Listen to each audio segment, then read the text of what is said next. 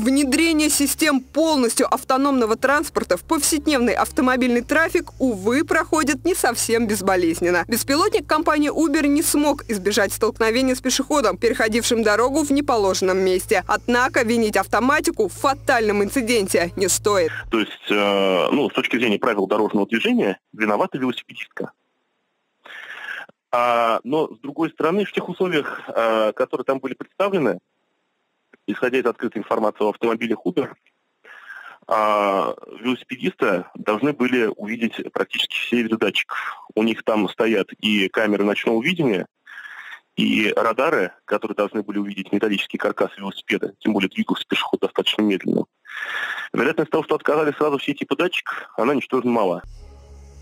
Несчастный случай произошел в городе Темпе, штат Аризона. 49-летняя Эллен Херсберг внезапно вышла на проезжую часть за пределами пешеходного перехода. Причем ни автоматика беспилотного авто от Uber, ни водитель, находившийся за рулем для подстраховки, ее не заметили.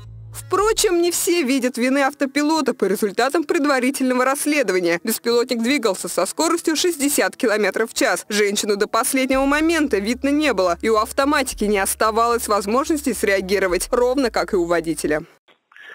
По крайней мере сейчас, да и на протяжении лет 10, на дороге общего пользования беспилотники со скоростями движения выше 50-60 км в час выпускать, ну, это ну, даже не то, что наивно, но просто это, это проблема, прежде всего, именно этические. Тут ну, нет однозначного решения. То есть беспилотники сейчас высокими скоростями на дорогах, независимо от технического прогресса, пока недопустимо.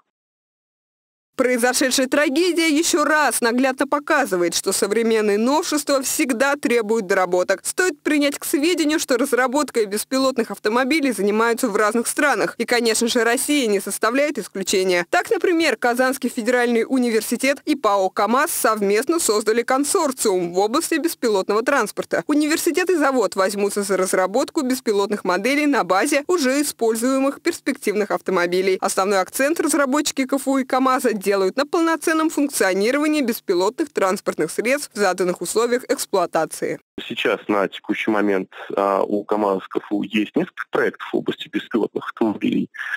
А, ну, в общем-то, их готовность во всех случаях ну, достаточно высокая. А, ну, в частности, вот, например, вот один из автомобилей сейчас а, проходит вот испытание вот на одном из полигонов как раз Казанского федерального университета готовится как раз вот к автопробегу, который скоро будет.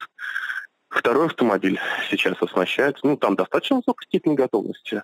КФУ и ПАО КАМАЗ планируют представить несколько моделей, которые запустят в серийное производство ориентировочно через два года. Перед запуском исправное функционирование технологий искусственного интеллекта проверят дополнительно, чтобы исключить риск возникновения аварийных ситуаций и несчастных случаев.